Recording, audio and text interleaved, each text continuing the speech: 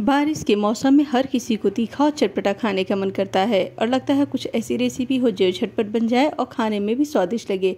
तो आज मैं आपके लिए ऐसी ही रेसिपी लेके आई ही, जो बनाने में बहुत ही आसान है, खाने में स्वादिष्ट लगेगा। तो इसको बनाने के लिए मैंने चार से पाँच उबले हुए आलू ले लिए हैं, इसको उबाल के पहले छील लिया है, उसके बाद जब ये ठंडा हो जाए तो ग्रेटर की हेल्प से इस तरह से हमें ग्रेट कर लेना है।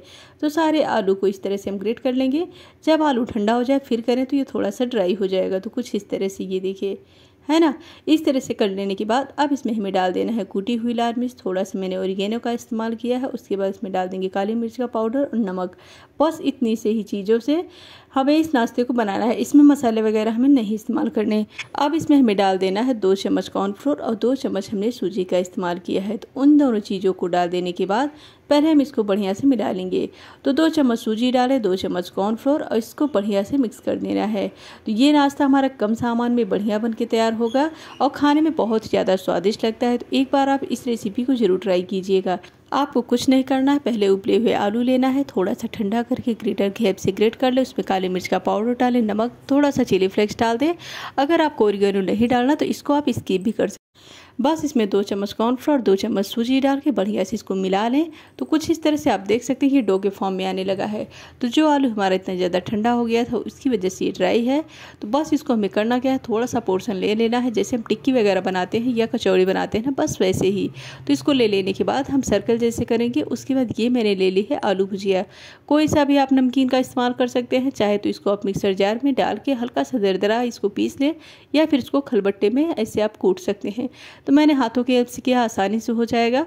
तो बस इस तरह से कर लेने के बाद आप इसमें हम दो चम्मच नमकीन डालेंगे। तो मैं आपको दिखा रहा हूँ इसको करना कैसे है। तो बस आप स्पून की हेल्प से इसमें ऐसे डाल दें। उसके बाद इसको हमें कवर कर देना है। जैसे हम टिक्की करते हैं ना, बस वैसे ही। तो इसमें मैंने चीज़ का इस्तेमाल किया, मैं आपको आगे भी दिखाऊँगी कि इसमें चीज़ डालने के बाद ये जब आप नमकीन डालेंगे तो ये रेसिपी और भी ज़्यादा स्वादिष्ट बनेगी। तो जैसे हम स्टफिंग वाले कचौड़ियाँ बनाते हैं, बस वैसे ही आपको इसको कर लेना है। अब इसके बाद आपको बहुत ज़्यादा इसको चिपटा करने की ज़रूरत नहीं है, कुछ इस तरह से ये देखिए। ये नाश्ता कम सामान में बढ़िया बन के तैयार होगा, बच्चे हों या बड़े, हर किसी को पसंद आएगा और बिल्कुल अलग टेस्ट आएगा इसमें।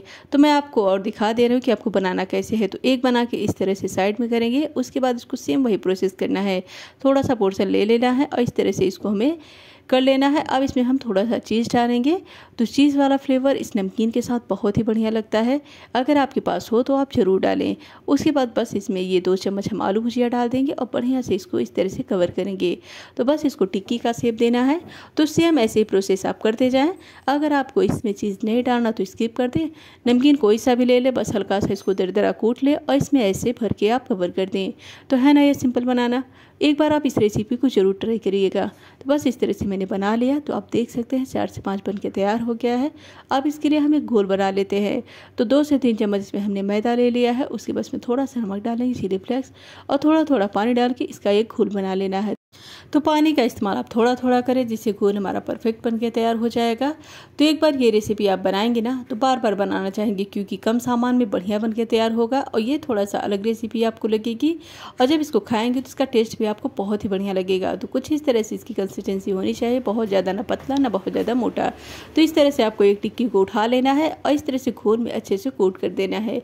तो आप देख सकते हैं, कितनी आसानी से ये मैंने कर लिया ऐसे अब तेल को हमने रख दिया है मीडियम टू हाई फ्लेम पर गर्म होने के लिए एक एक करके इसमें टिक्कियों को डालते जाएँगे।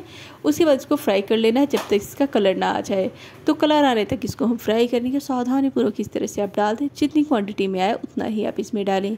तो इसको फ्राई करने में हमें तकरीबन चार से पाँच मिनट लग जाएँगे, क्योंकि इसमें बहुत ज़्यादा हमने ना बेसन का इस्तेमाल किया, ना ही बहुत ज़्यादा मैदे का इस्तेमाल किया है।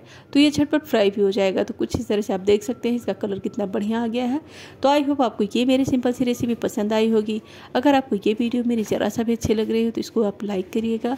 चैनल पर मेरे न्यू हो तो सब्सक्राइब शेयर करना बिल्कुल ना भूलिए। तो कुछ इस तरह से ये देखिए मैंने फ्राई कर लिया। अब इसको फटाफट सर्व करते हैं। तो इसको मैंने तीखी वाली चटनी और केचप के साथ सर्व किया है। आपको अगर ये मेरी रेसिपी अच्छी लग रही होगी तो इसको कमेंट करके आप ज़रूर बताइएगा कि ये रेसिपी आपको कैसी लगी।